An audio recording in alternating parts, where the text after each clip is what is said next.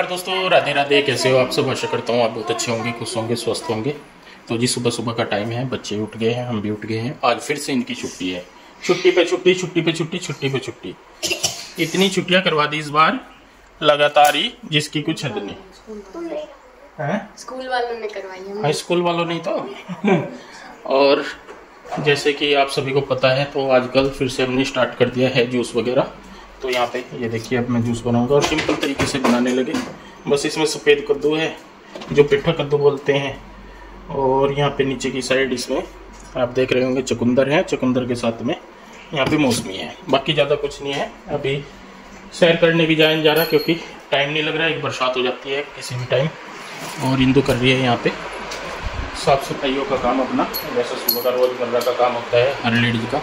तो ये भी आज इसी काम पे लगी हुई है। आज क्या हर रोज मतलब जरा से भी गुस्ताखी ना हो जाए कहीं ना है ना? हाँ, तो अगर मैं आपको कहने लगूं मैं आप आज दुकान का काम कर रहे थे आप क्या कहोगे? हर रोज ही करता हूँ मैं हाँ, तो तो वही तो मैंने भी कहा मैं कहा हो ना मुझे वही बोला मैंने भी प्राण तो जूस ले लेना? ले लूँगी हाँ। ठीक। तो ये बना देता हूँ अब जूस। क्या लगाया? अच्छा ये लगा दिया ढक्कन। ढक्कन तो लगा हुआ था बेटा। चलाओ फिर इसको यहाँ से। बंद हो जाएगा। फिर चलाओ।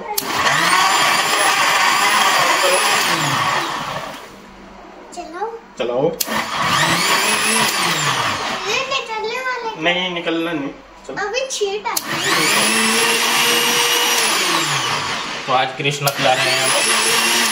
ये सुबह सुबह का खाली पेट वाला जूस।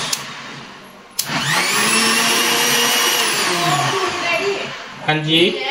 जो है छोटे वाली हाथ की उसकी सुई टूट रही है वो ला देते मैं खाना तो आया था मैं। वो छोटी की नहीं लाया बड़ी की लाए थे। दोनों लेके आओ ये कहाँ से दबा के चला रहा है ये ये भी दबता है क्या? ये तो ठीक है। बस बंद करो। तो जी देखिए यहाँ पे हमारा जूस बन गया है। मतलब हमारा नहीं फ्रूट जूस बन गया है। इसमें जो वाइट कद्दू होता है ना जिसका पेठा बनाते हैं वो वाला जो कद्दू होता है वो ना बहुत अच्छा होता है। उसका जूस ना कोई भी पी सकता है।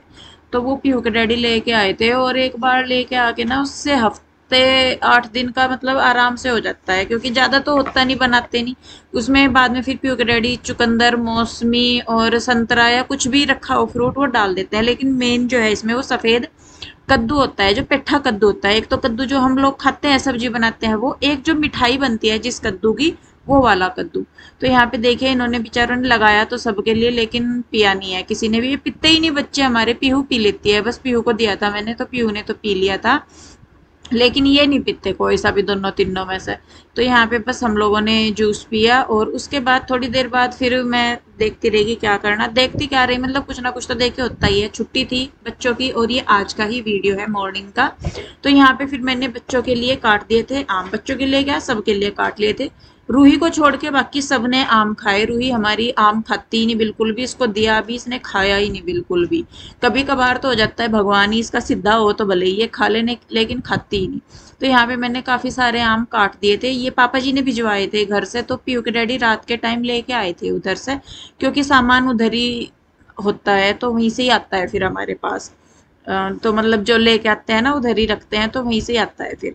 तो उसके बाद यहाँ पे मैं लगाने लगी थी मशीन और उसके बाद भी मतलब मुझे ये था, मैंने कहा चलो मैं तो अपने कपड़े ही धो लेती हूँ। बच्चों के यूनिफॉर्म थे, अगले दिन धोना था। मतलब बच्चों को जाना है कल को स्कूल तो उसके लिए मेरे का यूनिफॉर्म भी धोनी है, जो थोड़े कपड़े हैं वो भी मैं धो दूँगी, नहीं तो फिर ज़्यादा हो जाएँगे। पीहू नहा के आ गई थी। और यहाँ पे बस मैं अपनी मशीन लगाई रही थी, अपना फिर मतलब दस बज गए थे, मैं सही में बताऊँ, इस टाइम करते करते क्योंकि छुट्टी वाले दिन थोड़ा सा लेट ही प्रोसेस चलता है हमारा। तो इस टाइम तक भी सुनीता ना तो आई थी, ना उसने कोई मैसेज किया, ना फ़ोन किया, और मैं बताऊँ, मैंने भी आज किया नहीं। क्योंकि मैं भी देख रही थी, मैंने कहा देखती हूँ, आती है या नहीं, बताती है या नहीं तो वो आई नहीं। मुझे मतलब जितना मेरा टाइम निकलता गया, उतना मुझे लगता रहा, मैंने कहा वो आएगी नहीं। तो फिर भी मैंने कहा, चल तू पहले कपड़ों का ही काम खत्म कर ले, क्योंकि कपड़ों का काम निपटेगा फिर मैं अंदर का आराम से कर लूँगी, क्योंकि किचन का सारा काम जो का तू पड़ा था, और उसके बाद मतलब सारा साफ़ सफ़ाई का भी। तो यहाँ पे ये एक रस्सी, क्या तार ही है, ये ना नेट का तार है जो एक्स्ट्रा पड़ा हुआ था तो इसको मैं बाँध रही हूँ यहाँ पे। पहले मैंने ये रसोई वाली विंडो में बांधा, फिर छोटा पड़ गया तो फिर मैंने पौड़ियों में बांधा, और ये मैंने इसलिए बाँध दिया था। मैंने कहा, बच्चों की यूनिफॉर्म वगैरह होती है, जैसा धोनी है, मौसम, आप सभी जानते हैं कि अब तो बरसात सी का ही मौसम है तो ऊपर भी नहीं फैलेंगे और वो नीचे भी नहीं सूखते अंदर पंखे में भी। या टावल्स वगैरह रोज के होते हैं तो उनको फैलाने के लिए मैंने कहा, ये मैं बाँध देती हूँ यहाँ पे तो यहाँ पे फैला दूँगी मैं उन्हें। तो यहाँ पे देखिए, बस मैं अपने कपड़े धुली रही थी तो तभी मेरी मम्मी का फ़ोन आ गया था। तो पहले मैं मतलब बात भी कर रही थी अपनी मम्मी से और फ़ोन भी मतलब ये क्या बोलते हैं इसको?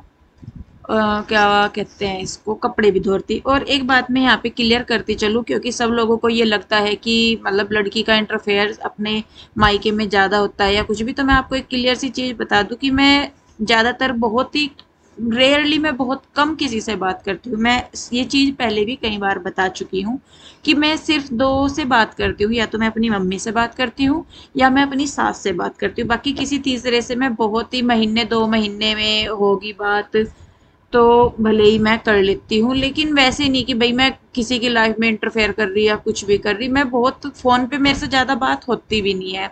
मैं ज़्यादा से ज़्यादा तीन या चार मिनट बात कर लेती हूँ, उससे ऊपर मैं बात नहीं कर सकती किसी के भी साथ। और ना मुझे शौक है कि कहीं पे भी इंटरफेयर करने का, ना अपने ससुराल वाले घर में, ना अपने मायके वाले घर में।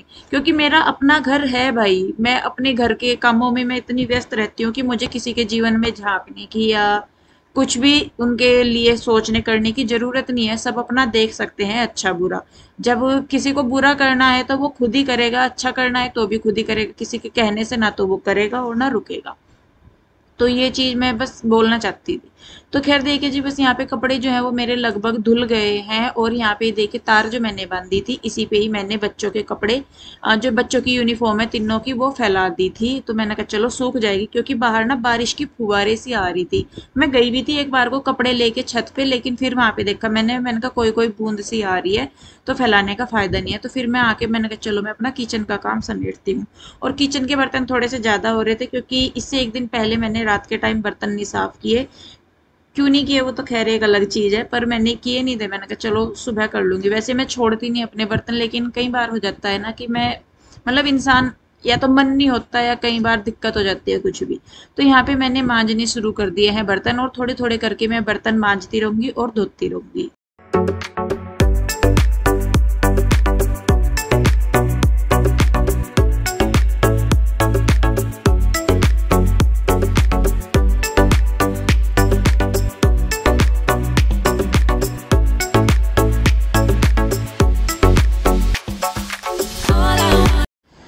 देखिए बस यहाँ पे मैं कर ही रही हूँ और आज ना मेरा यहाँ पे मैं जैसे इसको साफ़ करने लगी ना सिंक को और इसमें ना अंदर जो जहाँ से पानी जाता है उसमें एक स्टॉपर लगा हुआ है और वो इतना नुकीला है ना, देखिए मेरे हाथ में खून निकल रहा है और इसकी वजह से मैं इतनी परेशान हुई क्योंकि कट जो है वो अंदर तक गहरा लग गया, पूरा अंदर धस गया।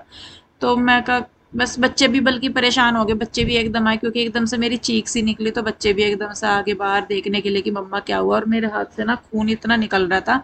बाद में मैंने बैंडेड लगाने की भी कोशिश की, पर शायद वो मेरा हाथ गिल्ला था या वो ऐसी जगह पे अंगूठे के नीचे घाव हुआ, जहाँ से मतलब वो सीधे हाथ पे ही हो गया। उल्टे हाथ पे होता तो इतनी दिक्कत नहीं थी, क्योंकि सारा काम सीधे हाथ से ही होता है, बर्तन मांजने हो, साबुन का काम हो पोचा लगाना हो या कुछ भी। तो इस वजह से और उसमें इतनी दिक्कत हो रही थी, पर फिर भी मैंने कहा, चलो छोड़ो भाई, काम तो देखे करना है, हाथ को बचा बचा सी के थोड़ा सा पकड़ से करके तो मैं थोड़ा सा करती रही। और अब मैंने यही सोचा है, मैंने कहा, मैं अभी सुनीता को मना कर दूँगी, क्योंकि देखिए, काम का मेरा भी बहुत नुकसान हो रहा है उस वजह से। साढ़े आठ बजे मैंने उसको बोला हुआ है, लेकिन वो फिर भी लेट ही आती है, दस, साढ़े दस ही बजा देती है, क्योंकि उसका फिर ये होता है कि भाई जहाँ दूसरे घर वो जा रही है तो वहाँ पे भी वो साथ के साथ चली जाएगी, क्योंकि मेरे पास जल्दी आना होता है, किसी और के यहाँ पे लेट जाना होता है। तो बस मैं ये सोच रही थी, क्योंकि अभी मुझे थोड़ा सा अपना नया जो काम है वो बढ़ाना है, और उसकी वजह से काफ़ी मतलब लेट होता है मेरा काम, नहीं तो मेरा साढ़े आठ बजे तक काम निपट जाता है जब तक बच्चे जाते हैं। तो फिर मैं पीयू के डैडी से भी इस बारे में बात कर रही थी तो वो भी कहते कि इंदु, अगर मतलब सारा ही काम हो जाता है तेरा तो फिर कर ले खुद ही, कोई दिक्कत नहीं है, शरीर भी अपना ठीक रहेगा। तो मैंने इस बारे में मतलब मैं वैसे नहीं कि भाई कोई मैं बुराई कर रही किसी की या कुछ भी, लेकिन अब मुझे लग रहा है कि नहीं भाई मतलब काम अगर हम अपने आप से कर लूँगी, मैं तो ज़्यादा अच्छा है। बाकी ये है कि देखिए, शरीर का है, अगर ठीक रहा तो मैं करती रहूँगी। अगर ऐसा लगा कि भाई कोई दिक्कत हो रही है या कुछ तो फिर देखिए वो बुलाना भी पड़ेगा मुझे। लेकिन फ़िलहाल के लिए मैंने उसको बस मना कर दिया था। मैंने कहा, सुनीता, रहने दे, मत आना और मैं कर लूँगी खुद। हाँ अगर फ्यूचर में मुझे लगा ज़रूरत है तो फिर मैं बुला लूँगी।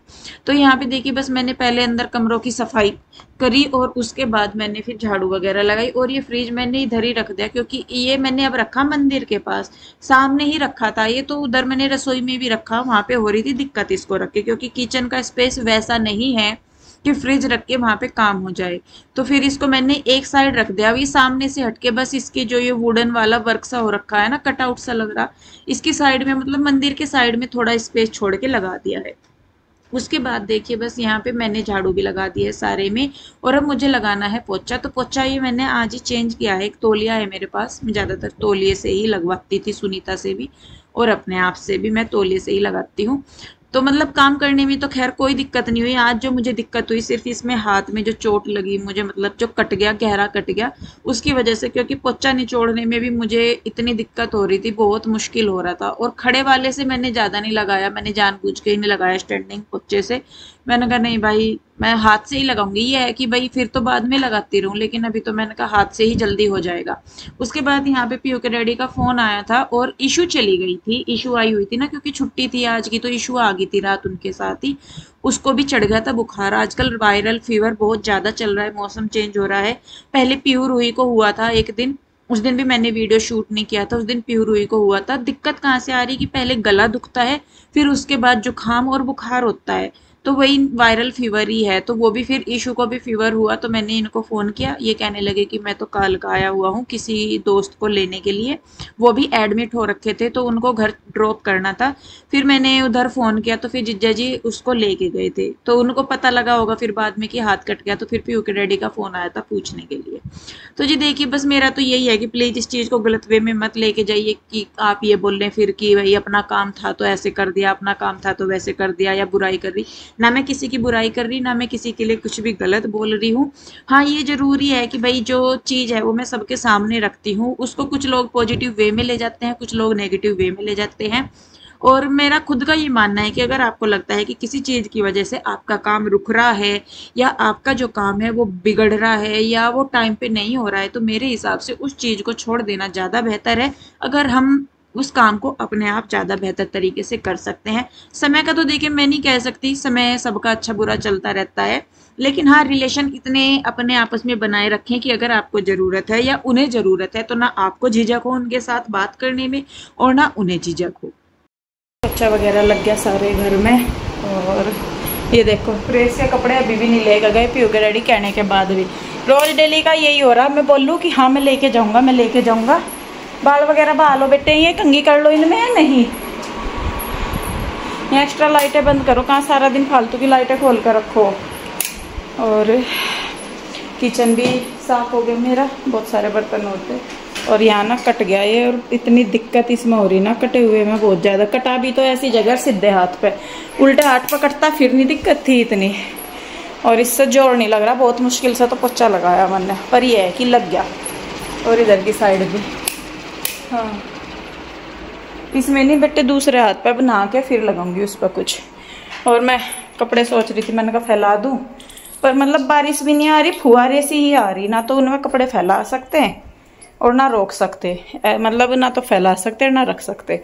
वह बच्चों की जो ड्रेस है, कल को क्योंकि इन्हें पहन कर जानी तो ये वाली मैंने यहीं डाल दी। मैंने कहा इनमें हवा सी निकल जाएगी।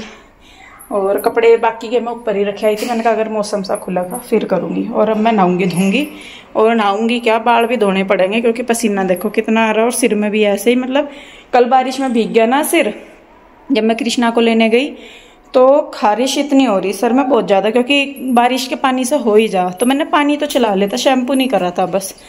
तो अब मैं नहाऊँगी भी और बाल भी धोंगी शैम्पू करूँगी। और फिर खाने वाने का देखूँगी। तो बस जी, इस वीडियो को मैं यहीं पे रोकूँगी, क्योंकि बहुत सारा काम पड़ा आज तो मुझे बहुत सारे काम करने हैं, सारा काम निपटाना आज जो भी पड़ा। तो बहुत लंबा वीडियो हो जाएगा। तो बस चलिए जी, इस वीडियो को रोकते हैं यहीं पे ही। कैसी लगी? कमेंट करके ज़रूर बताइए। अगर अच्छी लगी है तो लाइक करें, शेयर करें।